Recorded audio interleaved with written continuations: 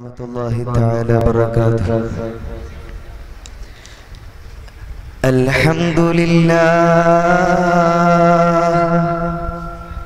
الحمد لله الذي وضع الجور في فصيلة الرزيلة وجعل العدل في عصبة الفضيلة والصلاة والسلام على سيدنا محمد.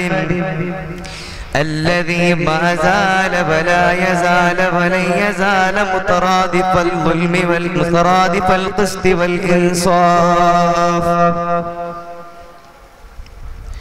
أشهد أن لا إله إلا الله وحده لا شريك له. الذي خلق الإنسان على أحسن تقويم. على رصيف العدل والقسط وأشهد أن سيدنا محمدا صلى الله عليه وسلم وعلى آل سيدنا ومولانا محمد. فيا إخواني في الله أوصيكم بتقوى الله. وبالتوبة قبل قدوم الأجل وتخلوا بأخلاق الله فوالله يرغب في حسن الخلق ويرغب عن سيه فاعلموا أن الله عادل يحب العدل ويكره الجور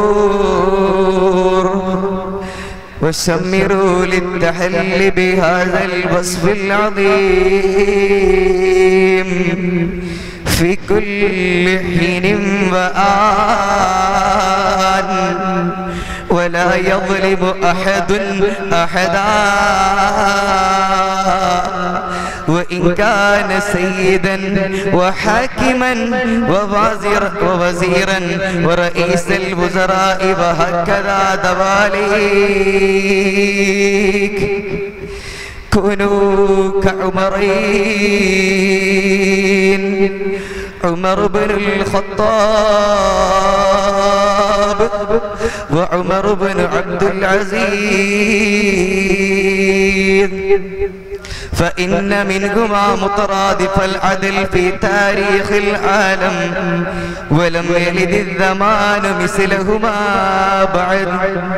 ولا تكونوا كهتلر ومودي من جراء أنهما مترادف الظلم والقسط مترادف الظلم والجور.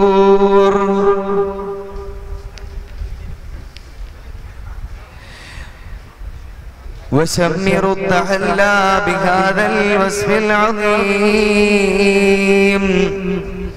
كم رأس كتا هذا الظالم الغاشم المرسوم بمودي؟ غضون فترة يسيرا.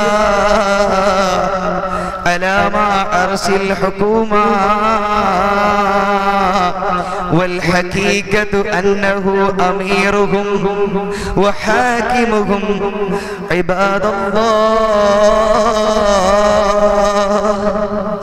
لا تطيروا قول النبي صلى الله عليه وسلم.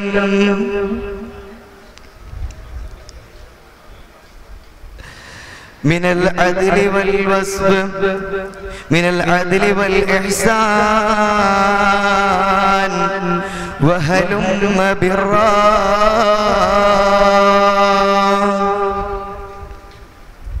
جعلنا الله جعلنا الله وإياكم من العادلين. وحمانا وإياكم من الظالمين. أعوذ بالله من الشيطان الرجيم. بسم الله الرحمن الرحيم. ولا تحسبن الله غافلا. ولا تحسبن الله غافلا. أما يعمل الظالمون. بارك الله لنا ولكم في القرآن الحكيم. ونفعنا وإياكم بالآيات وذكر الحكيم وعصمنا وإياكم من الشيطان الرجيم. بسم الله الرحمن الرحيم. يا أيها الذين آمنوا اتقوا الله حق تقاته ولا تموتن إلا وأنتم مسلمون.